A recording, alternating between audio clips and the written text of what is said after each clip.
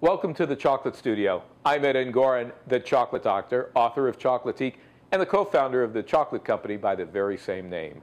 There's only one way to make professional looking and tasting 3D chocolate filled pancakes, and that's with a Danish style Ebelskiver pan. It looks a lot like a frying pan, only it has seven round compartments molded into its surface. It may take a little practice until you get used to the hang of turning the pancakes, but within a few minutes, you'll be turning them over like a Viking pro. Make sure that your Ebelskiver pan is hot before you brush the walls with butter. I like to use real butter, not only for the taste, but for the browning qualities. I use two wooden meat skewers for turning the pancakes. They're easy to handle and they don't get hot.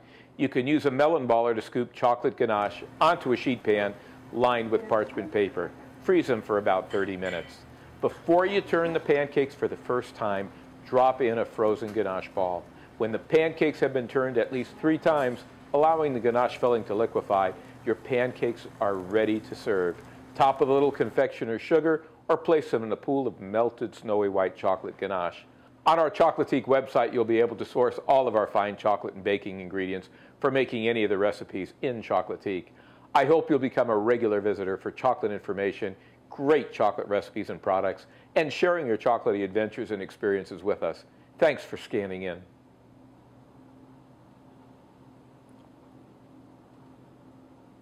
Mm. The best ever. Mm. I just have to have another bite.